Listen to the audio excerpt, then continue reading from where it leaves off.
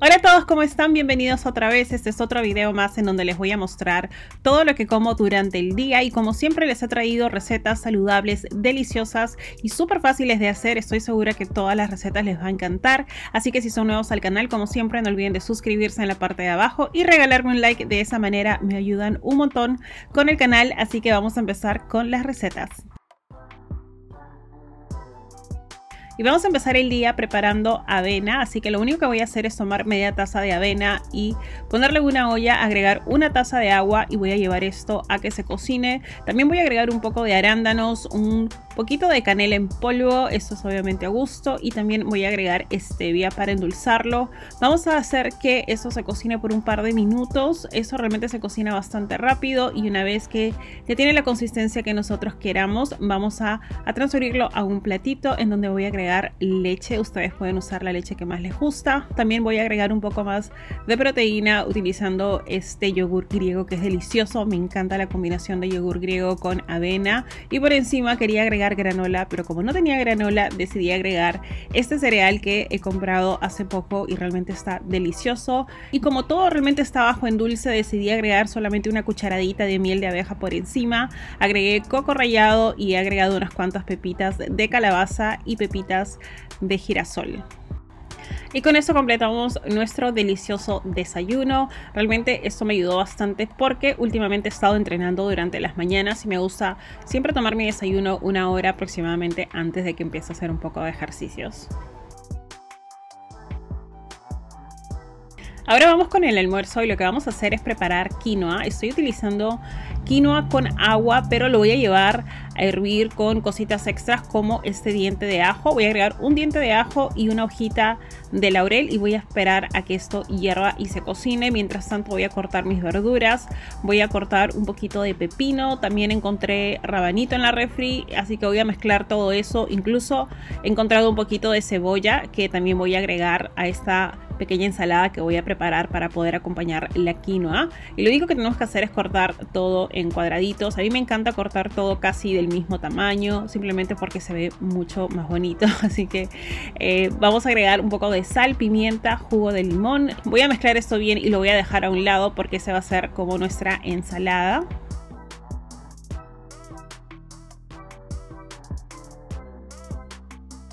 Y aquí ya tenemos la quinoa lista. He preparado bastante simplemente para que me sobre un poco para los próximos días. Así que otra cosa que encontré en la refri fue camote que había preparado un par de días atrás. Así que simplemente lo voy a cortar en cuadraditos del mismo tamaño que eh, corté las, las verduras para la ensalada. Y justo mi mamá compró este pollo. Este es un pollo eh, rostizado que puedes comprar en el supermercado. Realmente esta es una buena opción si de repente no quieres cocinar y quieres algo rápido. yo solía comprar eso cuando vivía sola y me gustaba comprar un pollo entero y me duraba para varios días y hacía diferentes platos, sándwiches, o sea, infinidad de cosas. Así que eso es lo que voy a usar el día de hoy para el almuerzo. Vamos a servirnos un poquito de quinoa, un poquito de verduras, el camote y otra cosa que voy a agregar aquí es obviamente el pollo que acabo de comprar o que acabo de enseñarles y les he quitado la piel simplemente porque no me gusta mucho eh, la piel del pollo y vamos a poner también un poquito de hamas. Este es hamas que yo mismo he preparado. Ustedes pueden comprarlo listo, lo venden en todas partes y vamos a agregar unas cuantas hojitas de perejil por encima y con esto ya tenemos nuestro almuerzo listo. Como se dan cuenta, es realmente delicioso, fácil de hacer, súper refrescante. Esta es una buena opción, en mi opinión, para el verano.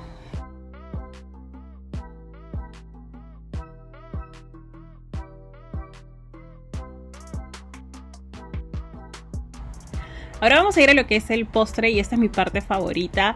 Realmente se me había antojado comer pie de manzana, pero no quería preparar un pie completo, así que traté de hacer una versión un poco más saludable, que no es exactamente como un pie de manzana, pero te da la sensación o tiene los mismos sabores, diría yo. Vamos a empezar con galletas. Ahora hay infinidad de galletas que uno puede comprar saludables, chicos, así que traten de comprar las más saludables que puedan y lo, que lo único que vamos a hacer es eh, hacer lo que estoy haciendo ahorita, que es simplemente hacerlo eh, polvito. Lo pueden hacer en la licuadora, pero yo estoy utilizando simplemente este, este palo, digamos, que utilizo para hacer masas, para poder hacerlo harina. Una vez que lo tenemos listo, vamos a agregarlo o vamos a transferirlo a algún molde. Yo estoy utilizando este frasco que...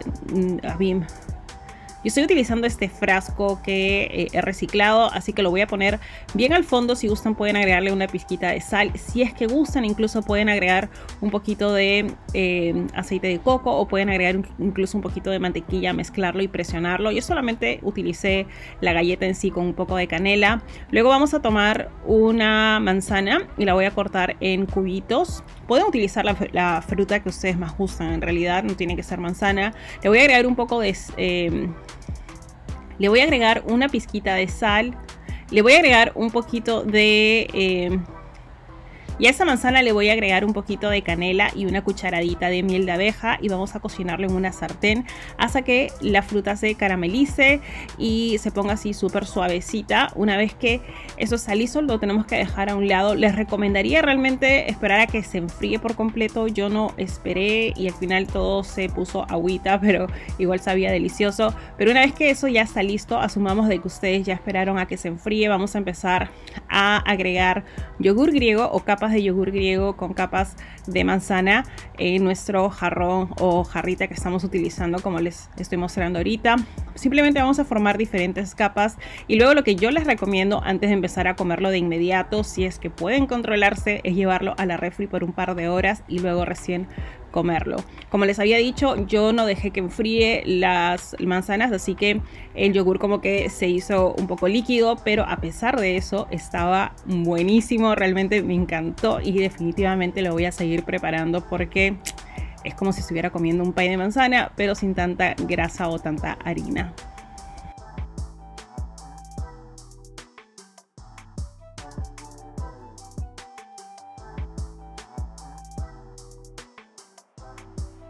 Y para la cena vamos a empezar cortando las verduras. Las verduras que más me gustan y obviamente las que tengo a la mano.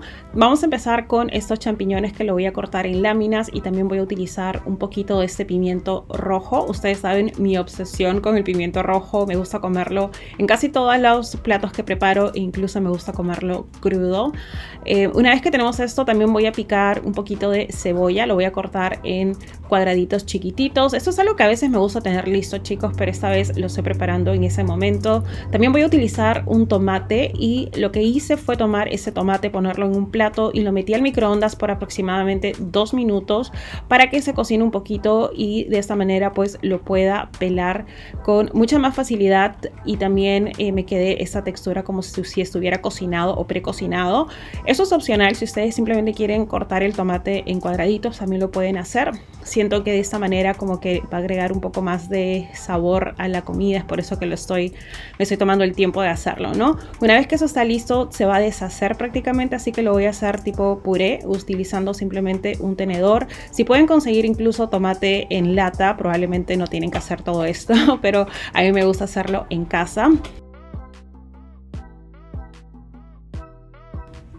Y les quería comentar que mientras tanto, mientras estoy cocinando, también estoy comiendo un poquito de fruta. Esto aquí es melón, que justo mi papá había picado fresquecito, así que decidí ir comiendo esto mientras preparaba, digamos, un plato principal, ¿no? Eh, ustedes saben que la fruta me encanta y la mejor manera de comer algo dulce, especialmente si te gusta lo dulce como yo, sería comiendo fruta, porque es bastante natural, es un azúcar natural.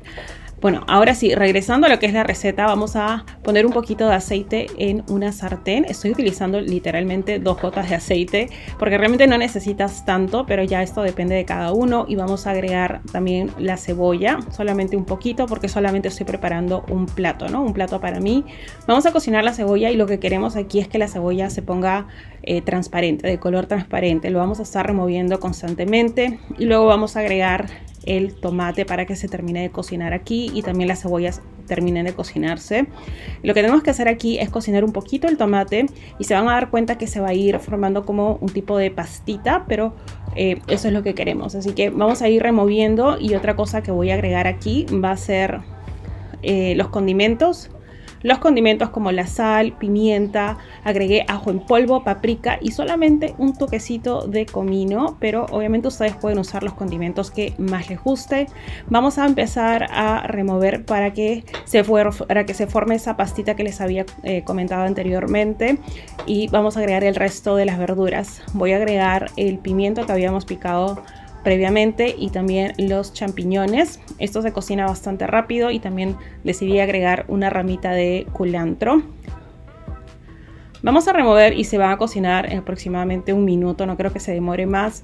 Y se van a dar cuenta de que la salsita o la pastita esa que estamos haciendo se va a espesar bastante porque todo el líquido se va a absorber. Así que no se preocupen, siempre pueden agregar un poquito de caldo o en este caso yo estoy simplemente utilizando agua. Eh, agregué agua como dos veces, un par de cucharadas. Una vez que ves que se seca otra vez puedes agregar un poquito más hasta que las verduras se terminen de cocinar. Una vez que las verduras se terminan de cocinar, eh, lo que podemos hacer es agregar ya los huevos. Así que lo que voy a hacer es formar un huequito por en medio. Incluso a mí me gusta preparar esto en cantidades grandes si es que voy a cocinar para toda mi familia y agregar diferentes huequitos y poner huevos por todas partes. Se ve muy bonito. Pero como voy a hacer solamente un plato para una persona, vamos a hacer un hueco por en medio y voy a agregar dos huevos. Pensaba agregar un huevo y una clara, pero en realidad no estoy consumiendo mucha grasa en esta eh, en este plato, así que decidí agregar dos huevos enteros al final para poder este, sacar la grasa, digamos, de las yemas, ¿no? Entonces vamos a cocinar esto y para que se termine de cocinar por encima, ah, y le estoy agregando un poquito de sal y pimienta, vamos a cubrirlo con una, con una olla, con una olla, con una tapa o puedes utilizar un plato si gustas para que se termine de cocinar por encima.